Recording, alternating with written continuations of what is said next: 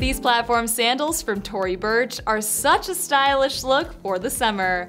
I love how the same raffia material that's woven on the upper wraps around the midsole. It gives these shoes a really cohesive look that I would style with a woven hat or bag.